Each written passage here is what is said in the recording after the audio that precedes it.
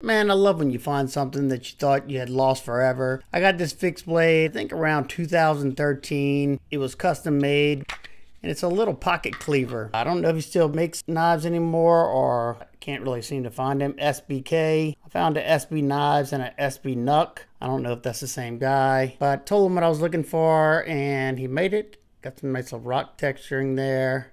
Micarta scales. Just a little three finger grip knife, but I'll tell you what, way this thing curves up right there, it locks into that third finger. Really comfortable. Nice little carbon fiber looking Kydex. Sheath still holds it nicely. What you think about it?